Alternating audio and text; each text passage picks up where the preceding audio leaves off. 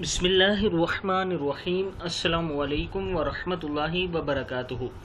عابد راجہ channel کی طرف سے آج میں اپنے دوستوں کو رسول اللہ صلی اللہ علیہ وآلہ وسلم کی قیامت کے بارے میں دس نشانیاں بتاؤں گا۔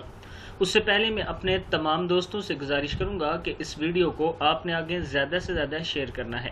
تو شروع کرتے ہیں۔ بسم اللہ الرحمن الرحیم۔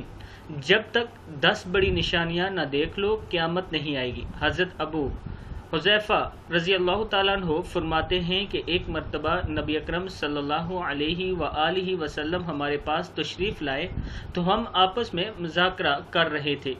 آپ صلی اللہ علیہ وسلم نے پوچھا، کیا باتیں کر رہے ہو؟ حاضرین نے کہا، قیامت کی باتیں کر رہے ہیں۔ تو آپ صلی اللہ علیہ وآلہ وسلم نے فرمایا کہ جب تک تم دس علامات نہ دیکھ لو، قیامت نہیں آئے گی۔ پس یہ دس علامات بیان فرمائی۔ ایک دخان یعنی دعاں دوسرا دجال، تیسرا داب یعنی دابت الارض، جو ایک عجیب اور غریب جانور ہوگا۔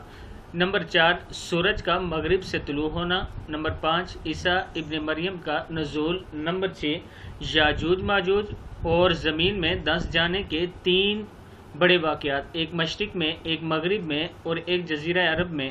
اور ان کے سب کے آخر میں ایک آگ جو یمن سے نکلے گی اور لوگوں کو میشر یعنی ملک شام کی طرف ہانک کر لے جائے گی۔ اللہ تعالی ہم سب کو آخرت کے عذاب سے بچائے اور میشر کے دن اللہ تعالی ہمیں سرخرو فرمائے۔ اس ویڈیو کو آگے ضرور شیئر